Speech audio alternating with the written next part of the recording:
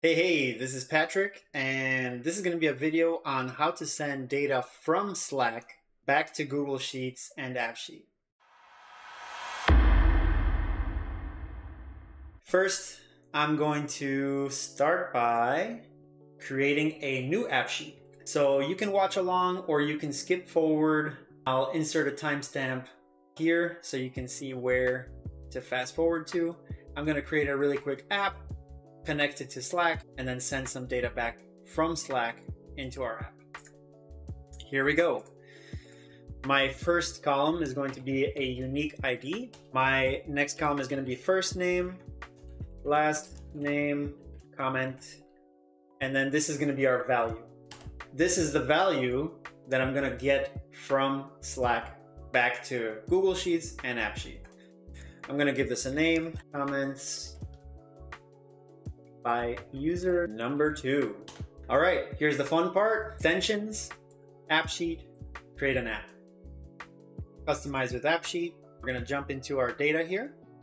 And here we go. We have this unique ID, which is assigned an initial value of unique ID. What this means is AppSheet will create a unique ID or reference number, which is a key and this is going to be a way that we're going to refer between Slack and AppSheet. When Slack sends it, it's going to say, hey, find this unique ID here, find our unique ID, and then update this value column. So let's get to work here. First, we're going to create our automation, create a new bot, configure event, create a custom event, and this event is going to be ads only. Let's add a step, create a custom step. Once again, I'm doing these things quickly. I'm not putting names on things. This is not an app that I'm going to continue to use. But when you are creating apps that you're going to continue to use, in order to be sustainable, you should be naming your events, you should be naming your steps, you should be giving good names to your apps and good names to your sheets and your var variables. Fantastic. Our new step is going to be calling a webhook. We're going to use a Slack hook for this. And now let's go back into our Slack. I'm going to go into my delete after December channel. Now we're back in Slack. We're in our delete after December channel. I'm going to create a new integration, add an automation, and it's going to be a new workflow. We're going to build this new workflow. And here, we're going to choose an event, which is from a webhook.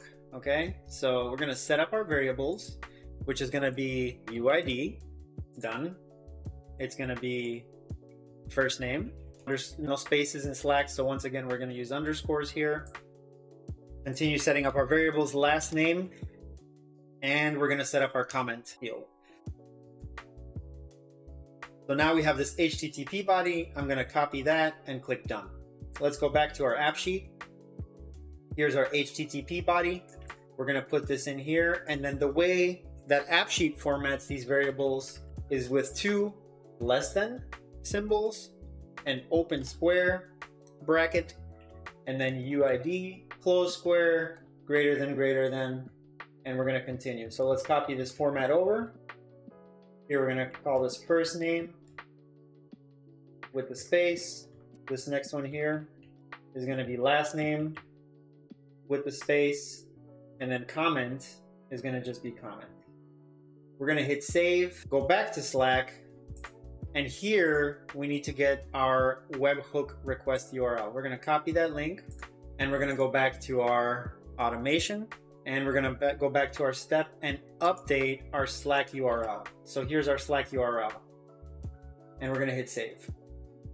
Okay, now let's go back to our Slack and we're gonna finish this automation. So first of all, we're gonna want our Slack to display this message Okay, so messages, and we're gonna send a message to a channel. And the channel is delete after December. And our message is gonna be simple. We're gonna send the UID, we're gonna send the first name, the last name, and the comment. Okay, here I'm just gonna title this name, and I'm gonna put a space in between the two, and then I'm gonna put a comment here. You can make this bold. For example, you can stylize this however you want whatever you have as the variable will just pop up in that field, right? So whatever is our UID will pop up here. I can move this UID. I can move this down, for example, here. However you want to format it, that's entirely up to you. Now, I'm going to include a button. Okay, so this button is going to go to the next step. So we can call this something different because we actually want the user to enter a value. So I'm going to put enter value. This is just the label of the button. Okay, save. So now you can see how this is going to look in the channel. We're going to have this untitled workflow send a message to our channel that says first name, last name, comment, and UID. When we click the button enter value, what do we want to happen? Well, we want a form to pop up. We're going to collect info in that form from the user. And the question is going to be, what is the value? And this is going to be, yeah, we can do any of these options, but I'm going to make it a short answer. But if you wanted to, you could make it a drop down, multiple choice, checkbox file upload is totally possible. Uh, you could pick a certain Slack user, Slack channel, a date, a number. I'm just going to do short answer. Okay. Description answer in one or two sentences. Make this required. Done. Save.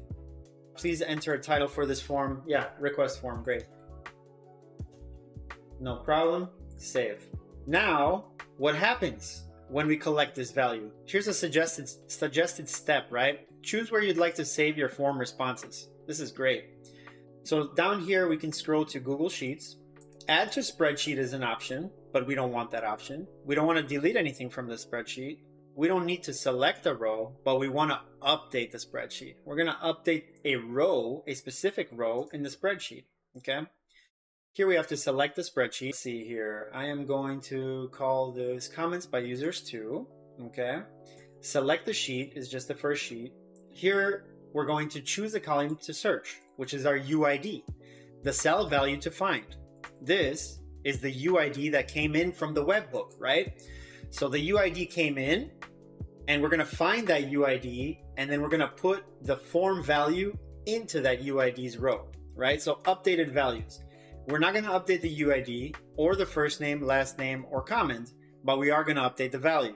So we click here, and this is the collected info from the form. What is the value? Hit save and finish up. Well, what we could do, right? We could also send a message. This is fun. Let's add this just for fun.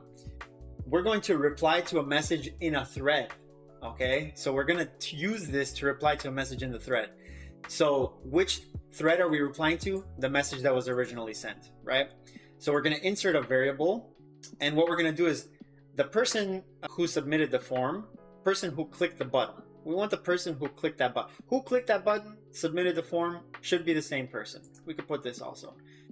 So this person who submitted the form has entered a value. Okay.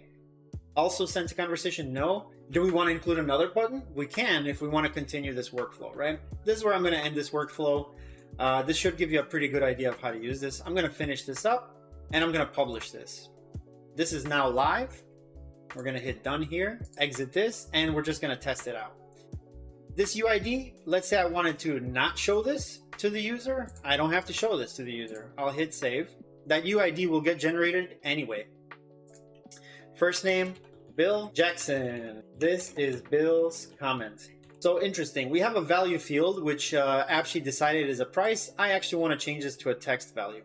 Okay.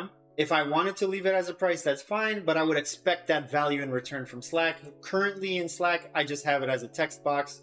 So we want to make sure that we're kind of following along consistently.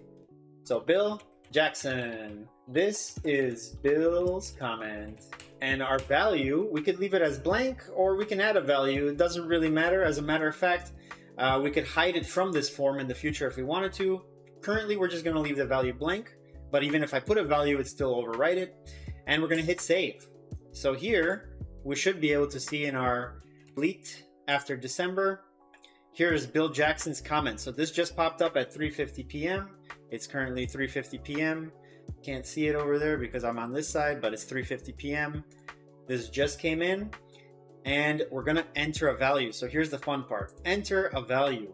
Up pops our Slack form, okay? What is the value? Value from Slack. We're gonna hit submit and now we're gonna go back to our app sheet and we're gonna take a look, right? We have comments by users. Let's see here. Here's Bill Jackson. Here's our value from Slack. Just for fun, let's view the data source here's our value from Slack. So what you can see, right? How does this work? first Slack receives your data through the webhook.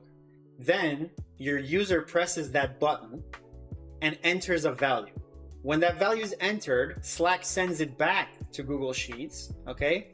And it sends it to this column, but it uses this UID to search. After that, your value's there. As soon as your value's in the sheet, your value's in the app sheet too. And here we can see, if we open our thread, I have entered a new value. So there you go. This is uh, how to send data from Slack back to Google Sheets and AppSheet, how to respond to a thread using a workflow in Slack. All of this is great and will keep your uh, keep your team organized. Good luck on your project. Thanks for watching.